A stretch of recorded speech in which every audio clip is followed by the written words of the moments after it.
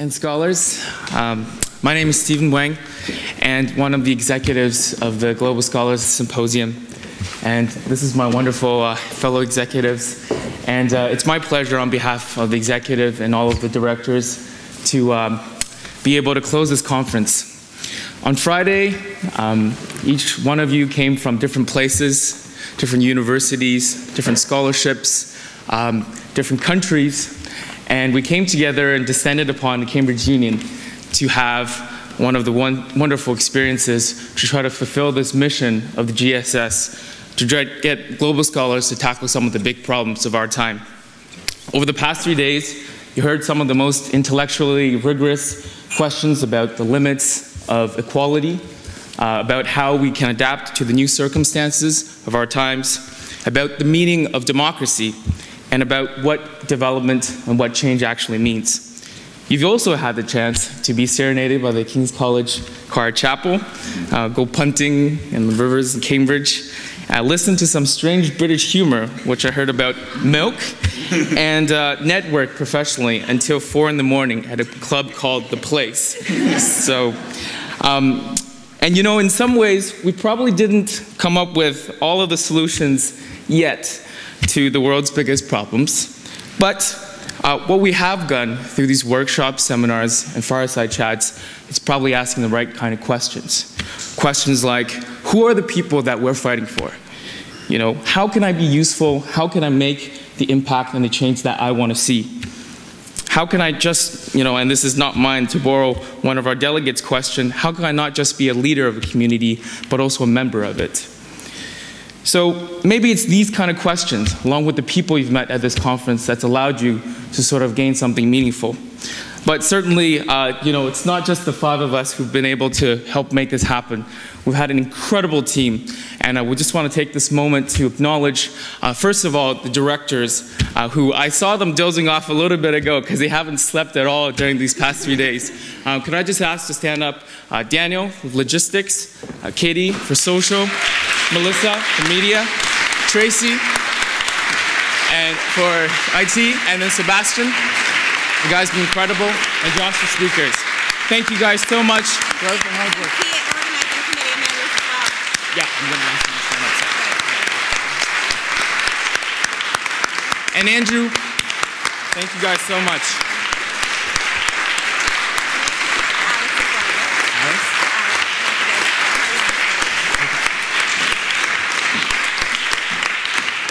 The conference has been so smooth and organized, it's because of these guys.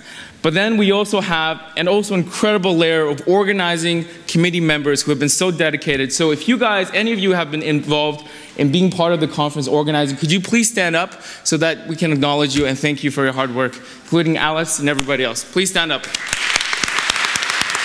Thank you guys.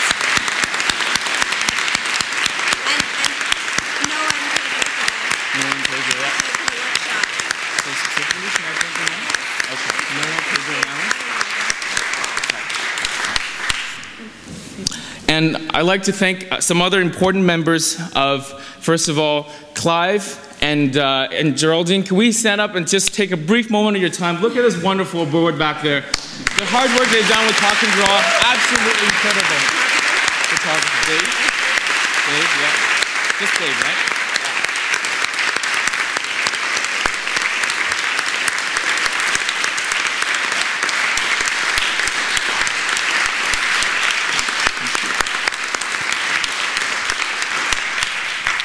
And as well as uh, our Cambridge Union staff. Uh, we can see Alec back there, incredible gentleman of class, and uh, making all of this happen. You'll see this one day on YouTube and see your beautiful faces, so be nice to him. We have um, James, Joe, uh, Barnaby, Matt, Tim, and a man called Bursar. I think that's all his name, so. and thank you all so much, the Cambridge Union, for this hard work.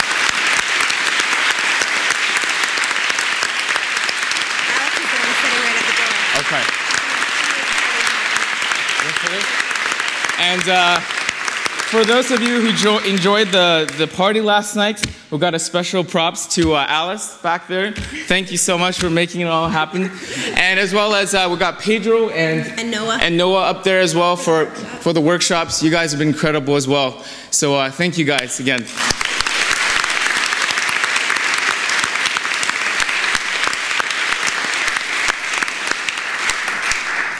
And of course, uh, um, uh, I would be uh, remiss to miss, uh, mention the Gates Cambridge Trust, the Clarendon Fund, and of course our, our main benefactor, John McCall MacBain, for all of their financial contributions. So I hope you guys will be signing the book so that uh, we'll be able to come back to the conference next year. So, thank you so much.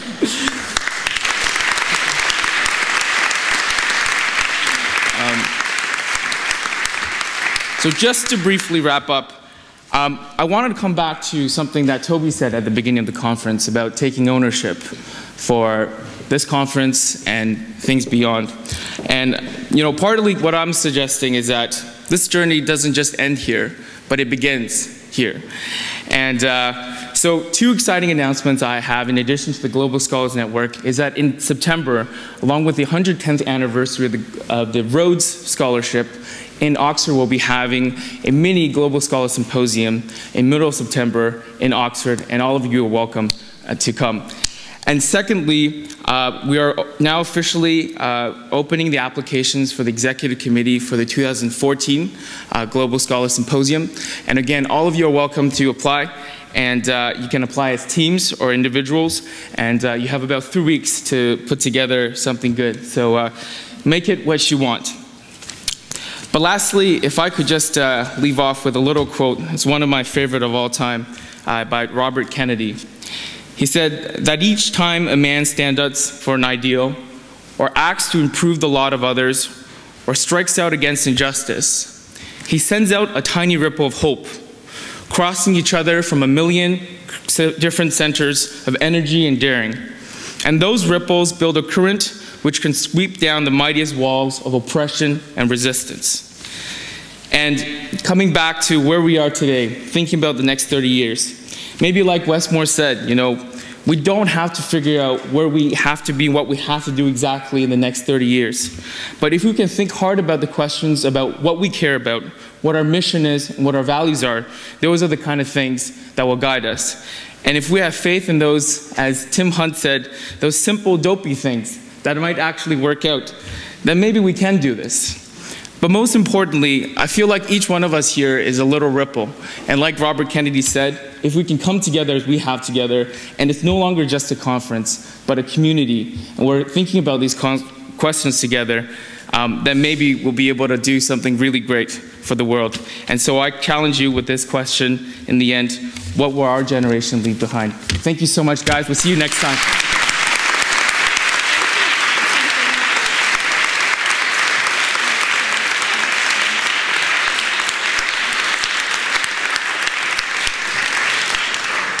Guys, so I just want to add one quick thing because I think the exec forgot to thank someone very important, which is themselves, because that would be a little awkward. so I just want to say a huge thank you on behalf of the directors and on behalf of the entire organizing team because they inspired us to take this conference to a whole new level, and because of them, we inspired our teams, and I think this was a great, great conference. So thank you so much to all of you. We've really appreciate it.